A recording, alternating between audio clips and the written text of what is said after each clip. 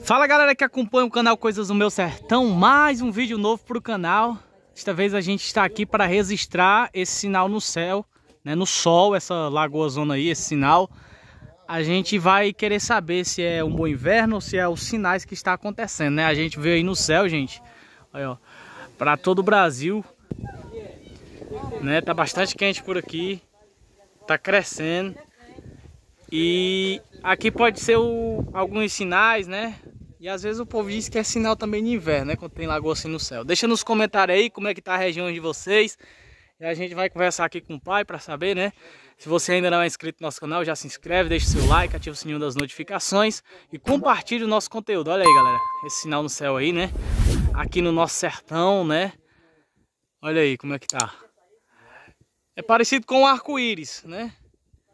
E a gente registra aqui no nosso sertão e a gente vai conversar com o pai, né? Tá diferente, tá diferente. Bora pro vídeo.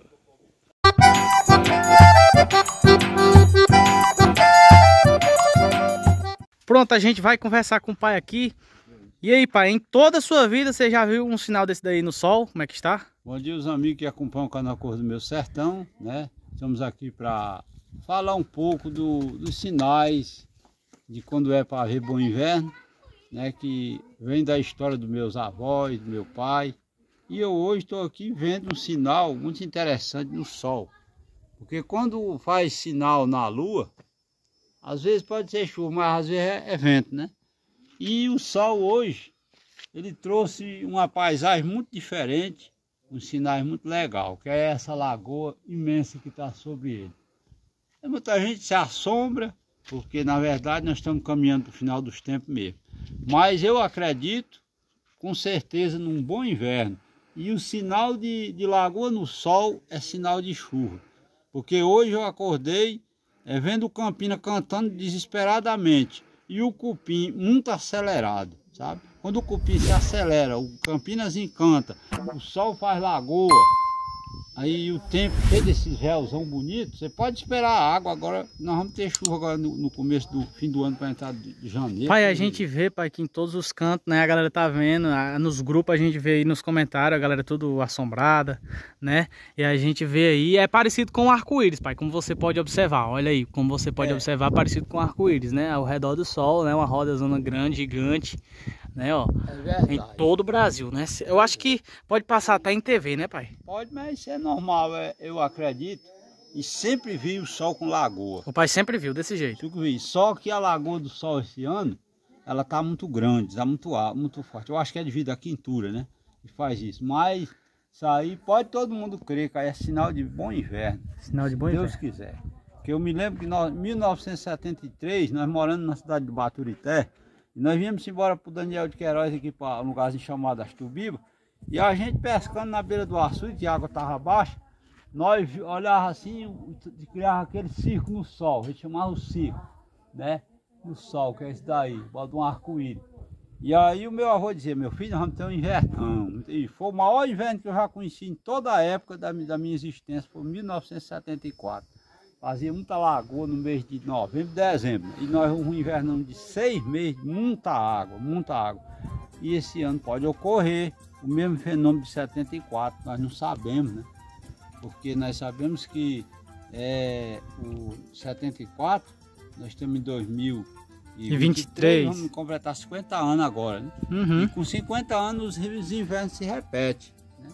Por isso eu estou achando que nós vamos ter um grande inverno. Desde o começo a gente vê isso. Né? Pai, e esse ano já teve lagoa na lua também? Teve, teve lagoa na lua. Eu tava ali no terreiro essa semana, um dia desse, a lua tava aqui e ela tava com a lagoa, né? Então eu disse, rapaz, isso aí Aí dá uma churradinha e deu essas lebrinas, né? De manhã. Deu lebrinas, né, pai? Com certeza. Correu água na biqueira, né? Pois, pois é. é. pai. E a quintura também, pai. É, esses últimos tempos, né? Final de dezembro já, a gente vê que às vezes até 40 graus aqui no nosso sertão já faz, né, pai? A quintura grande mesmo, né? É, nós estamos vendo uma quintura muito grande. Já passei por quintura, assim, nem tanto do jeito aqui. que tá, né? Não tá bom aqui, nem tanto do jeito que tá. Mas a gente já teve quintura grande no, no Ceará de 30 graus, 35 graus, né? No, no Nordeste, porque o Nordeste é uma terra seca. De inverno, quando há inverno, mas no verão é muito quente, né?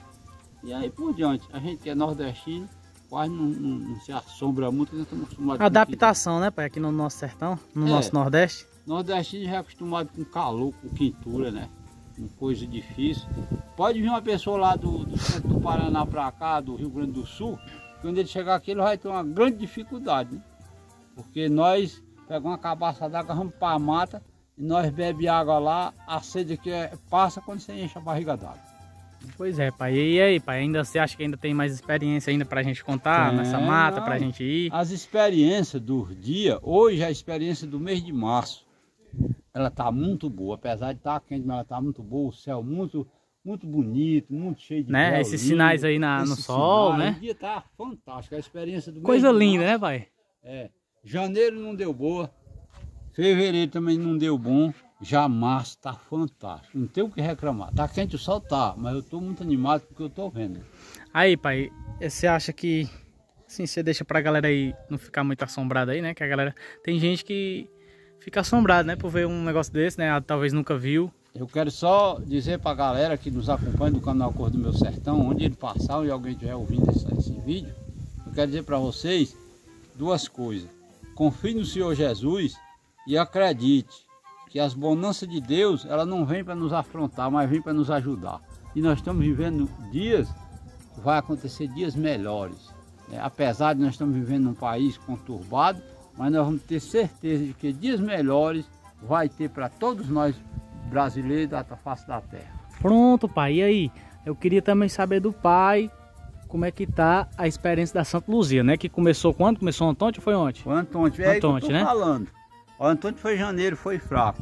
Ontem foi fevereiro, foi melhor um pouquinho, só um pouquinho. Pronto, aí levantou.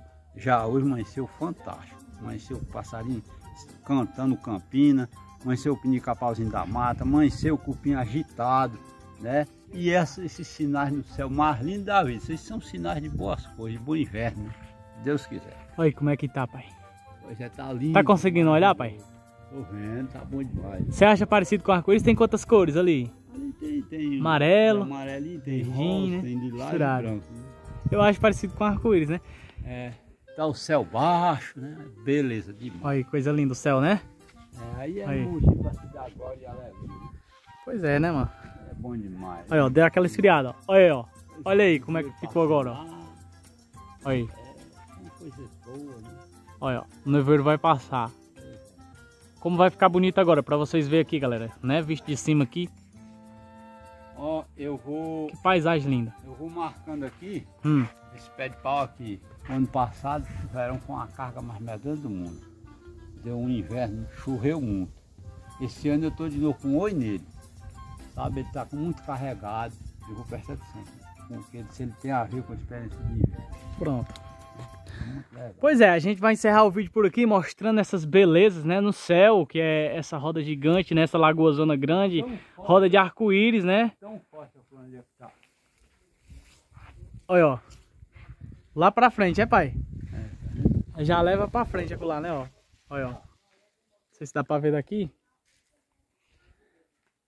Mas é bonita, viu? O povo tava tudo comentando aqui nos grupos, né? Sim, pois é, a gente vai encerrar o vídeo, pai. Já agradecendo a galera que são inscritos no nosso canal. E a gente vai deixar lá na capa do título, na, deixar nos comentários, né? Na capa do título, é, experiência ou sinal. A gente vai deixar na capa do título, né? E essa foto linda aí desse arco-íris, essa roda gigante desse arco-íris aí de... É como se fosse uma lagoa ao redor do é, sol, né? Ó, eu quero só dizer pra galera, os amigos que nos acompanham, você que é crente, que confia no Senhor Jesus, continue confiando mais, porque as bênçãos de Deus serão maior. E você que ainda não é crente, procure se encontrar com o Senhor Jesus, ter um encontro com Ele, porque nós estamos vivendo tempos difíceis, Jesus pode voltar a qualquer momento. E se Ele voltar e você não tiver seu nome escrito no livro da vida, as consequências serão meio pesadas. Porque quem não subir para no grande arrebatamento vai ficar aqui nesse mundo para sofrer as consequências. A gente já manda aquele alusão aí pro irmão Neuda em São Paulo, né? É. é também pro nosso irmão Calvio Lunga. Um abraço no... pro Calvio Lunga. Exatamente. Pro irmão Neudo, irmão Neuada em Itapina, Dona Lúcia São dos Queiroz, presbítero Leonardo no São João, nosso irmão ali é na, na, na Poeiras. Poeira, né? E a todos os irmãos. Nosso amigo Marcelo em Barreira sempre acompanha aqui É. o nosso canal. Com certeza. A nossa amiga Suiane. Suene Aguiar. E quero dizer também para as negradas que, que quem não tiver subido no arrebatamento vai passar por fome, vai passar por problema de enfermidade, essas coisas, porque depois que Jesus arrebatar a igreja, as coisas vão ficar difíceis. né? Valeu e tchau, tchau, porque o calor tá grande aqui, a gente tá no sol Pronto, quente. Valeu e até o próximo vídeo. Deus quiser.